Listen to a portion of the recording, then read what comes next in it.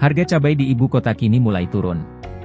Berdasarkan situs resmi Info Pangan Jakarta per Senin, 25 Juli 2022, rata-rata harga cabai merah keriting di kisaran Rp86.621 per kilogram, turun Rp4.016. Harga tertinggi cabai rawit merah dijual di pasar Pluit yakni Rp110.000 per kilo, dan harga terendah dijual di pasar Pademangan Timur Rp70.000 per kilo.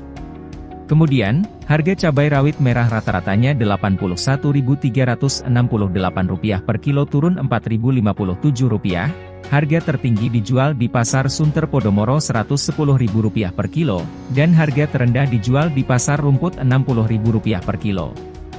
Selanjutnya, harga cabai rawit hijau tercatat Rp61.081 per kilo, turun Rp2.642. Begitu juga, harga cabai merah besar turun tipis Rp474 yakni Rp96.571 per kilo. Harga tertinggi dijual di pasar Rawamangun Rp120.000 per kilo, dan harga terendah dijual di pasar Johar Baru Rp70.000 per kilo. Tak hanya komoditas cabai saja yang mengalami penurunan, ada komoditas minyak goreng curah kini di kisaran Rp14.822 per kilo, turun Rp177. Ayam broiler atau ras Rp39.729 per ekor, serta harga bawang merah turun Rp5.118 menjadi Rp49.243 per kilo. Sebelumnya, harga bawang merah sebesar Rp80.000 per kilo, Hal ini dikarenakan gagal panen dan faktor cuaca. Di sisi lain, masih ada sejumlah komoditas pangan yang mengalami kenaikan harga. Di antaranya, bawang putih naik Rp412 menjadi Rp32.263 per kilo.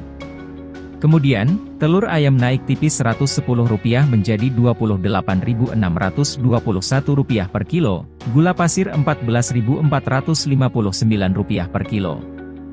Harga daging sapi khas paha belakang juga naik Rp148.055 per kilo, naik Rp1.833, sedangkan harga daging sapi murni Rp144.605 per kilo, naik Rp562. Daging kambing Rp144.166 per kilo, naik Rp890.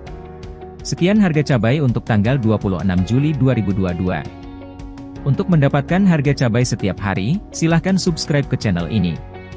Sampai jumpa di video berikutnya.